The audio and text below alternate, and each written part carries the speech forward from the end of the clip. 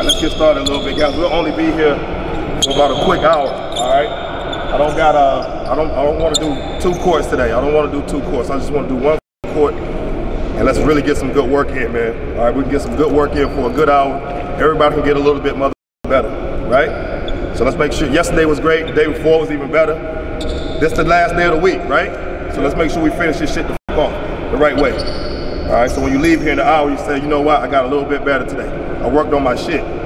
Don't get caught looking to the right or to the left at every everybody else. Worry about yourself and work on your game. Worry about yourself and worry about your game. Don't worry about what's going on on the out for this next hour. Don't worry about nothing else that's going on around here. Don't your phone and everybody else and all that kind of shit. Worry about yourself and get a little bit better. Compete and win every game. Be the team that win every game. If you lose, I'm gonna have three teams. So if you lose, that's the good part about this shit is today, instead of losing, having a losing score, you lose, you sit the f down. I'm gonna keep it real old school today. You lose, you sit down. You come back on the next game. In life, that's what happens. You lose, that shit is not good. Got to be a winner, right? Try to win every game. All right? Listen for your teams real quick, and I'll tell you how we're to play after that. All right? Trae, come back to Here's what we're to do, right? Any uh, Trae, you never played here, you never been here before. Where you at? So, uh, game go to, let's go to, uh, since we got an extra team, games go to five today. Games gonna go to five. It's gonna be quick, right? Games go to five. You validate with a free throw. Foul twice, you shoot the free throw to get the bucket.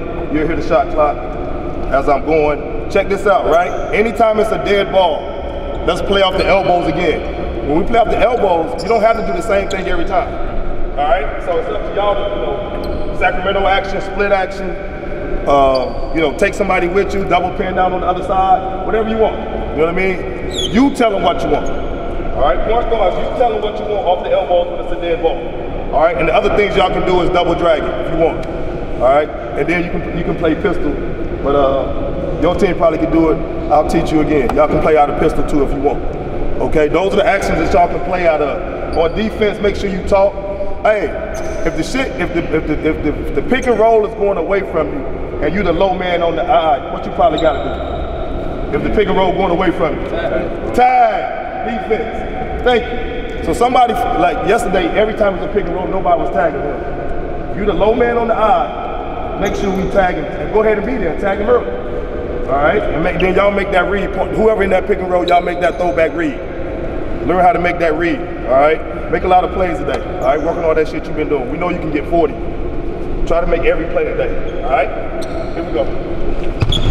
Let's have some fun, man. I'm gonna have a blast today with y'all, man. Y'all have some fun with me too, man. Family on three. One, two, three. Family. We going this way first.